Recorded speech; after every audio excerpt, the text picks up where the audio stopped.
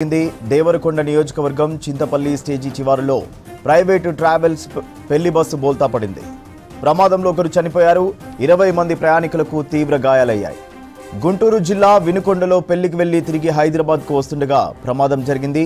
బస్సులో మొత్తం నలభై మంది ప్రయాణికులున్నారు. గాయపడిన వారిని మెరుగైన ట్రీట్మెంట్ కోసం హైదరాబాద్కు తరలించారు. నల్గొండ జిల్లాలో రోడ్డు ప్రమాదం జరిగింది. దేవరకొండ నియోజకవర్గం చింతపల్లి స్టేజి చివరిలో ప్రైవేటు ట్రావెల్స్ పెళ్ళి బస్సు బోల్తా పడింది. ప్రమాదంలో ఒకరు చనిపోయారు.